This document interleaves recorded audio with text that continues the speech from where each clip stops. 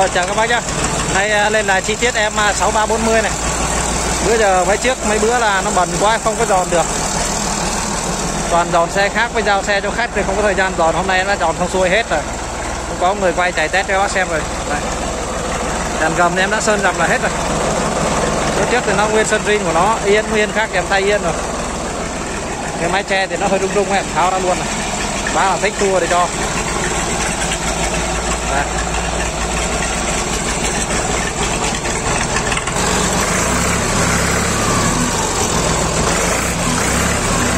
Rất rất là rộng đây, toàn bộ chi tiết đây lốp cái thì còn là chắc 50 phần trăm 40 ngai còn được hai phân nữa lốp rin, hai nứt lốp trước cái nọng mòn này.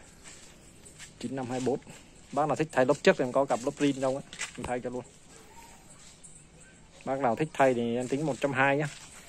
Còn không thay này 115 triệu. Máy móc đây. Khô ráo sạch sẽ ba máy nhá 6340 là ba máy nhá. 6340 dàn áo còn nguyên hết dàn áo còn đẹp không có méo móp gì hết nhá. Ừ. Đây là thùng đựng bình nhá hai bình. Đây, dàn gầm của nó đây cầu đó sạch sẽ cầu cầu mắt cá đây. 6340 Sibora mặt nạ còn nguyên còn đẹp hết nhá. Cầu trước khô ráo sạch sẽ nhá. Không gì nhớt nhau nhất. Đó hai bơm. Hai bơm, một bơm chờ được lái với một bơm ben đây là bình nhất nhất thử lực của dòng này nó làm có một thùng nhất riêng.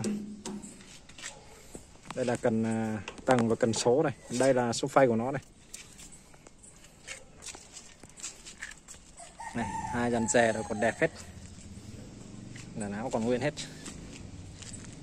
Không méo móp gì hết.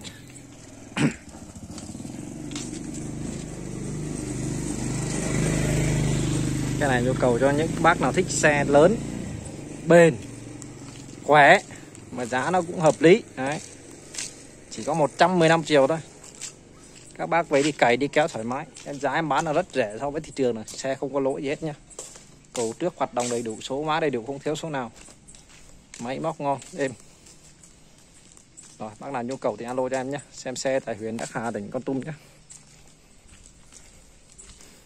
trước có mấy bác ở xa bảo ship nhưng mà ship ở xa nó nhiều tỉnh nó lằng nhằng không có xe. Bác nào gần cứ đến xem xe tại huyện Đắc Hà tỉnh Con Tum nhé rồi chào và hẹn gặp lại các bác ở các video lần sau nhé